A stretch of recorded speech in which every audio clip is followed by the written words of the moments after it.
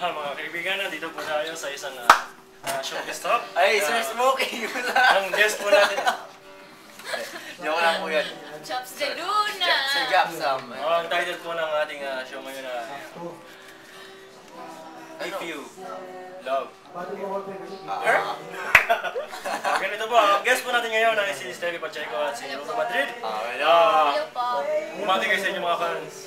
Hello mga fans ko dyan. Hello, hello. Oh, tama na, tama Hello, na. Red. Ah, wala na tayong oras. Ganito. Ah, diretso tayo sa tanong.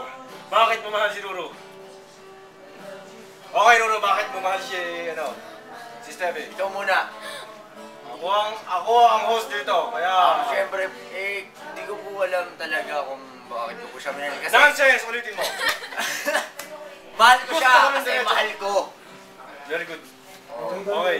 O, siya Tanungin naman. natin si Stevie Pacheco kung ano ang kanyang kasagutan sa tanong sa sagot ni Ruru. Grabe, kung ano ang kanyang reaksyon sa sagot ni Ruru sa ating tanong. Ah, ang mahal ko siya kasi mahal niya ako. Oh my God, sila na po mga kaibigan. Ina-announce ko po simula ngayon, si Ruru Madrid at si Stevie Pacheco ay officially protege contestants. Sige na, okay na yun. Kung inyo pong, kung inyo pong narinig ng maigi, ang sinabi po ni Stevie Pacheco ay ah, mahal niya si Ruru dahil mahal siya ni Ruru. Tama ba? Kayo na ba? Malapit. Ay, joke lang. Ah, malapit na. Oh my. Ah, kita-kita niyo naman po siya po yung nagsabi nun ha. Okay, Siya si po yung Ruru. nagsabi nun. Tanungin naman po natin si Ruru na lumalaki ang ulo habang sinasabi ni Stevie ang kanyang sagot.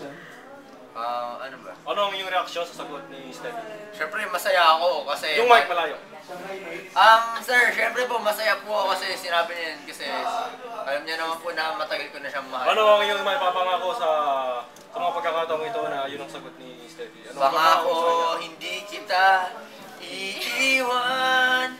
Pangako, hindi kita pababayaan. Okay, dyan na po nagtatapos ang ating show para sa umagang ito.